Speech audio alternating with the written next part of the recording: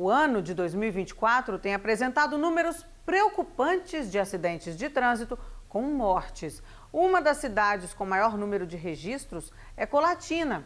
E na manhã desta quarta-feira, um motociclista morreu num acidente na BR-259. Quem tem mais detalhes para gente é a Elisângela Ramos. Muito boa noite para você, Elisângela. Boa noite, Dani. Boa noite para você que nos assiste. Infelizmente é isso mesmo. A violência no trânsito tem tirado a vida de muitos colatinenses. O acidente com o motociclista que aconteceu nesta manhã foi ainda dentro do perímetro urbano da cidade. Marcílio Nascimento, de 57 anos, seguia com sua motocicleta para o IFES Campos Itapina, onde trabalhava, quando bateu em uma carreta que estava parada no acostamento com parte do veículo dentro da pista. Segundo testemunhas, o motociclista não conseguiu desviar e, após o forte impacto, caiu e morreu na hora. O acidente aconteceu próximo ao quilômetro 60 da BR-259, nas imediações do bairro Colúmbia. Uma equipe do SAMU tentou prestar o socorro, mas acabou só confirmando a morte do homem. A Polícia Militar e a perícia da Polícia Civil também foram acionadas nesta ocorrência que foi assumida pela Polícia Rodoviária Federal. Após o acidente, a pista ficou parcialmente interditada por algumas horas para os trabalhos periciais e retirada do corpo de Marcílio e também da motocicleta. Segundo testemunhas, a carreta estava parada no local há mais de horas e sem a sinalização de alerta. Marcílio Nascimento, conhecido popularmente como cowboy, era morador de Colatina. As autoridades seguem investigando o caso.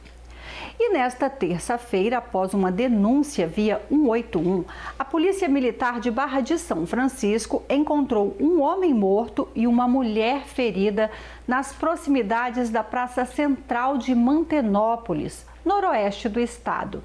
José Maria Vieira Júnior já estava morto quando a equipe chegou ao local. Já a mulher estava caída na calçada de um bar. Os dois foram vítimas de disparo de arma de fogo. A mulher foi socorrida ao pronto atendimento municipal, ficando sob cuidados médicos. Segundo a Polícia Militar, testemunhas disseram que antes dos disparos contra o casal houve uma discussão. A vítima foi socorrida e permaneceu no pronto atendimento por um tempo, pois a equipe do SAMU responsável pelo socorro teve receio de ser abordada no caminho pelos suspeitos do homicídio e tentativa. E a transferência para um hospital da região então foi feita com o acompanhamento da Polícia Militar. As autoridades seguem investigando o caso e até o momento nenhum suspeito foi preso. Mas em Colatina teve prisão nesta terça-feira, inclusive com perseguição e apreensão de drogas. Um quilo de pasta base de cocaína e 290 gramas de maconha foram apreendidos pela equipe da Força Tática da Polícia Militar. Isso aconteceu após a denúncia anônima de que um homem conhecido por vender drogas estaria estocando entorpecentes na casa dele no bairro São Silvano. Enquanto os militares faziam a vigília no endereço da denúncia, um carro com dois ocupantes chegou ao local. Um deles foi até a casa e pegou uma sacola. Mas, quando foram abordados pela polícia, tentaram fugir. E, durante a perseguição, jogaram a sacola com as drogas pela janela. Mas depois, essas drogas foram recuperadas pela PM. O homem detido, o adolescente e as drogas apreendidos foram levados para a 15ª Delegacia Regional de Colatina. Agora o assunto ainda é policial, mas com um desfecho diferente. Ontem, Dani mostrou aqui no Link Espírito Santo, entre os destaques do Sim Notícias, um vídeo que viralizou na internet onde um sargento da Polícia Militar conversa com um suposto sequestrador da filha dele. Mas, na verdade, era uma tentativa de golpe, o golpe do falso sequestro. Nós fomos conversar com o sargento Gama, que inclusive passou algumas dicas importantes. Sei, cara, tô nervoso. Deixa eu falar com a minha filha. olha só, e pedir para falar com ela mais uma vez, eu vou indicar o telefone para acabar com tudo. E a gente veio conversar sobre o assunto, né, sobre o fato que aconteceu com ele e também trazer dicas a respeito deste golpe que tem cada vez né, sido mais comum. Então, primeiramente, Júlio, obrigada por nos receber. Como foi esse momento aí, né? Porque é um momento de tensão para as pessoas que recebem uma ligação assim. Como você reagiu em primeiro lugar? A gente estava de serviço, nós paramos, né, para fazer um, um, lanche aqui. A gente estava sentado nesse lugar, eu, nesse, nessa posição aqui, como você falou. E aí o telefone tocou, ligado, número desconhecido. Eu atendi. Quando atendi, coloquei o telefone, começou a gritaria, que é, um, é, que é o golpe do sequestro. Já entendi que é o golpe do falso sequestro. E ela começou a gritar: pai, pai, pai, eles vão me matar, eles me sequestraram. Aí eu fiz assim pro pessoal que estava aqui conversando ficar em silêncio. Aí eu botei no Viva Voz, coloquei no Viva Voz. Aí o tenente, que é vascaíno também, igual a mim, começou a filmar. É, aí começou, ele começou a exigir. Eu falei, pô, vou tirar onda com a cara desse cara.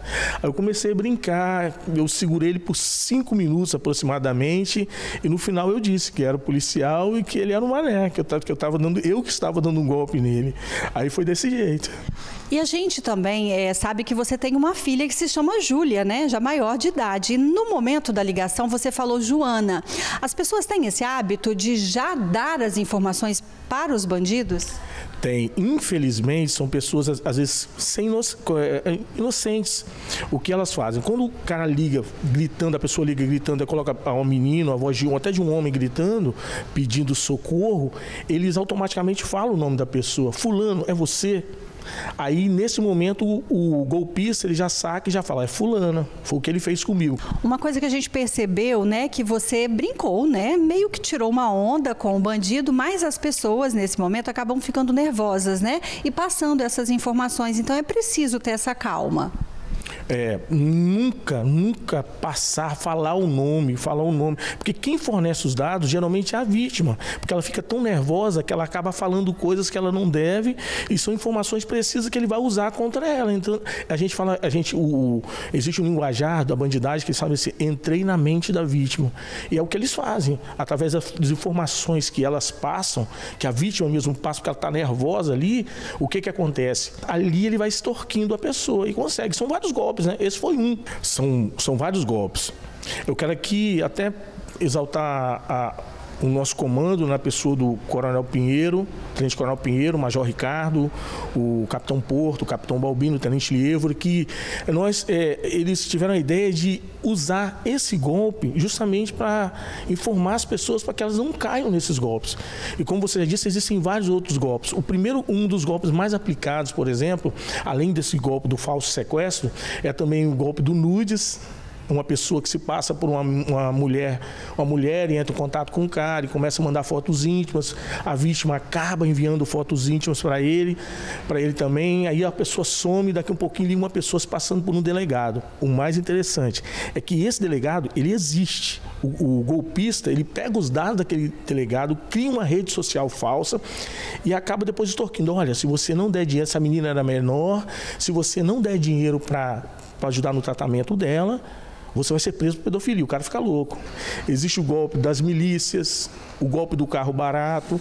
Geralmente as pessoas, quando caem nesse golpe, eles têm uma facilidade muito grande, uma oportunidade de ganhar dinheiro. Ou seja, cresce o olho. No golpe do falso sequestro, que é esse que eles tentaram aplicar em mim, o que acontece é tentar segurar a pessoa e tentar fazer contato com a suposta vítima. Porque a pessoa fica tão nervosa que parece. Eu já vi casos que a pessoa não consegue contato, ela fica mais nervosa ainda. E acaba cedendo e dando dinheiro, depositando dinheiro, né? Fique muito atento para que você também não caia em um desses golpes aí mencionados ou outros mais, porque os bandidos estão sempre também se reinventando, não é isso? Isso aí, estão sempre se reinventando. É, um golpe novo surge a cada dia e é difícil aqui em Colatina uma semana em que uma pessoa não procure a polícia militar, a polícia civil para registrar um, um, um golpe, uma tentativa de golpe. É importante, então, manter a calma e ter muito cuidado para não cair nesses golpes. Por hoje é só. Ótima noite para todos e até amanhã.